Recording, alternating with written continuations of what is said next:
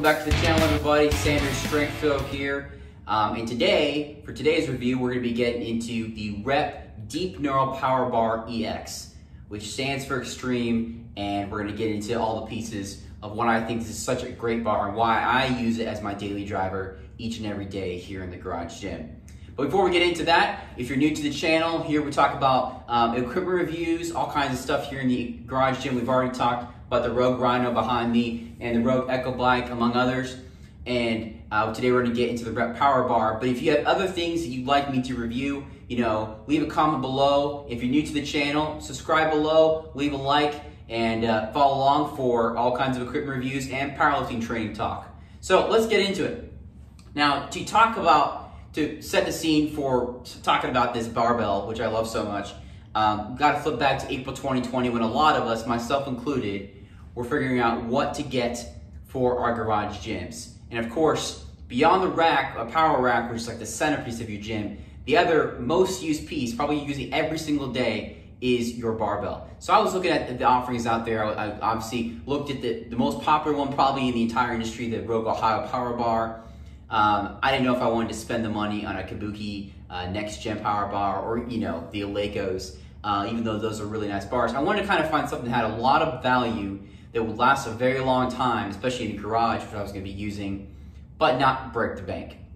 And I settled on the Rep uh, Deep Knurl Power Bar for, for a couple reasons. Number one, and I'll talk about this a little bit, is uh, get, getting into specs already, is it stainless steel. Why did that matter for me? This is a stainless steel finish from end to end, from the sleeves, from sleeve to sleeve, on the knurling, on the, on the, the non-knurled parts, why is that so important? Well, stainless steel is a great finish because, in fact, it's the only finish that this barbell, the Deep Knurl one from Rep, is offered in because it prevents oxidation and rust in this kind of environment.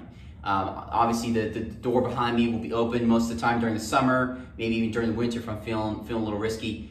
Um, so it's going to be exposed a little bit more to the elements than if it was in a normal gym. So but with the stainless steel finish, it will resist that oxidation and rust, and it keeps upkeep at a very minimal level. Honestly, uh, I, I, probably put some oil and, and, scrub out this out every you know four or five weeks, but there's very little notice of any rust at all. So that's one awesome reason why I got this thing. The second reason why you know keeping with the stainless steel, why it's so good is there's no extra layer of paint or layer of coating between your hands and the bar which I love because of you know it's a deep knurl power bar. You want to feel that as much as possible when you're in your, in your lifts. And while the Cerakote bars that Rogue and other manufacturers might offer are really cool, they've got those camo finishes, those all kinds of colors, maybe the American flag, etc. If you're feeling patriotic, this doesn't have that. It doesn't have the extra layering. I honestly, I think it looks awesome without that. I mean, this looks it just cuts a mean profile in the gym, either if you have it here or if you have it on the wall.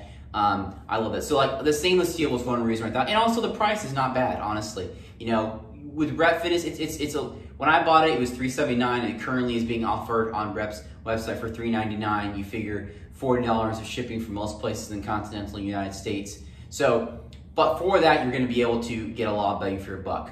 Uh, some more about the specs. Um, it's it's it's perfect for powerlifting. Which again, if you want to kind of practice how you play like I do. Um, it's 29 millimeters um, diameter. It's uh, 32 inches between the powerlifting marks.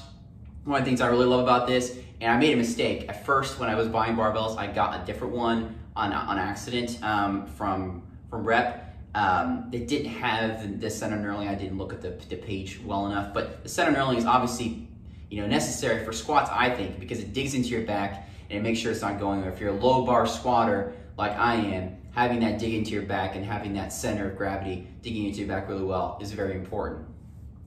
Uh, some other things thinking about here, the, talking about the knurling, going into that. This is a little different from some others in the other barbells in the industry. Instead of a volcano design where like the tops of these ridges is kind of hollowed out a little bit, these are more of a mountain design where it rises up to a sharp peak, but then it's a little like shaved off at the top. Um, you definitely notice it. You will notice it the first time you use this bar, first few times you use this bar, the difference between this and some other barbell you might use at your local gym. Um, but I, I love it. You get used to it. Um, it feels comfortable in your hands. It feels like very grippy, but not sharp. It's not going to tear your calluses. It's not going to tear your hands up. While we're talking about the knurling, one thing to note is that it will eat up the UMHW on your J cups. As you can see here on the PR4000 J cups that I have here on my rack. These are really nice. These are like the, the third edition, like the, the premium ones, and they're really nice. They're very sturdy. But as you can see, it's starting to eat up the UMHW there from the mountain-like knurl there. But I would still rather pay to replace the J cup than the barbell, so it's worth it um, to eat up. That's exactly what it's there for. But that's one thing to note that it might eat up the UMHW on your J cups. Uh, the last detail I'll note is the snap ring, which I think is just a nice touch. It spins really well. It looks very professional. You know, you can tell this is a nice bar. It's not just a beater bar that you're gonna do landmine weights in the corner of your gym. So ultimately, would I recommend this bar? Absolutely.